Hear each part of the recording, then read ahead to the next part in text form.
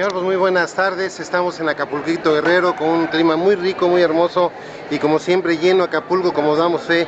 Este, yo la verdad, con todo respeto, señor, en representación de nuestro gobernador, que es una excelente persona, muy sensible, pues se acaba de iniciarse ahorita el programa de empleo, pero para no robarme la entrevista, eh, usted como su secretario quisiera que nos platicara de este evento. Y básicamente nosotros fuimos invitados a esta Feria Nacional de Empleo tenemos la fortuna de contar con todo el respaldo del señor gobernador, quien ha otorgado ya mil plazas para, para, policías.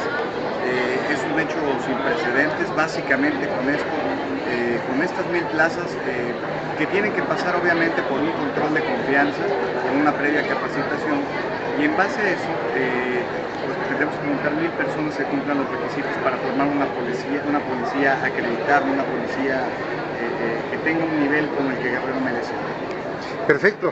¿Cuál ha sido la respuesta por parte de la mayoría que son jóvenes que acuden este día aquí a solicitar un trabajo? Buena, tenemos ahorita una buena convocatoria. Eh, ahorita para nosotros es el primer paso, este, esta feria, fuimos invitados de manera muy rápida, pero vamos a iniciar un programa, una, un programa nuevamente de convocatorias como el que tuvimos. Hace algunos meses, hace como 3, 4 meses, iniciamos un proceso de convocatoria que tuvimos 1.700 solicitudes, 1.660 y tantas eh, convocatorias. Eh, esto habla de la gente de, la apertura que tiene y las ganas que tienen de pertenecer a la corporación.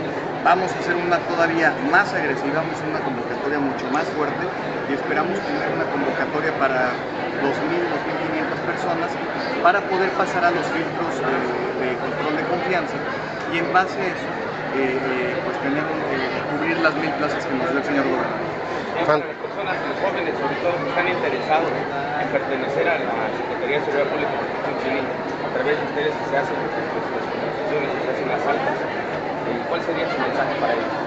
Mi mensaje es que eh, necesitamos gente joven, necesitamos gente adecuado de policía, queremos profesionalizar la policía, vamos a dignificar la policía, esa es la meta que tenemos, queremos policías que sean honestos, policías que tengan toda la capacidad de atender eh, las circunstancias que el Estado necesita.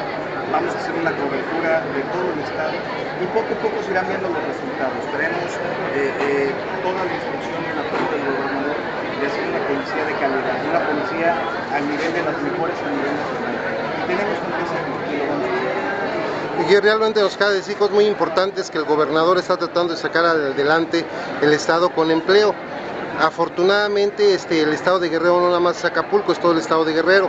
Entonces está tomando iniciativas en las cuales está detonando la micro y la mediana empresa y el empleo en todo el estado. Esto va a permitir que pues el estado se desarrolle. Pues la verdad le agradecemos mucho esta entrevista. ¿Alguna información que se nos haya pasado que quisiera usted informar, señor?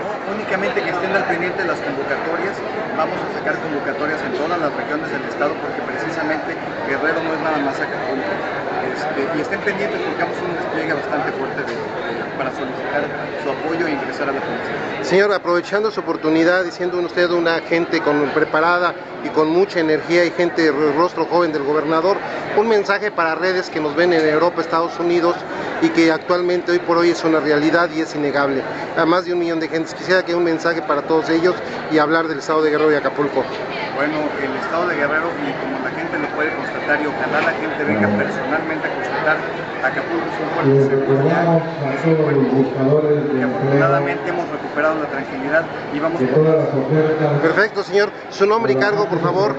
Javier Salgado Coronel, subsecretario de Administración, Apoyo Técnico y Desarrollo Humano de la Secretaría de Seguridad Pública del Estado. Muchas gracias, señor.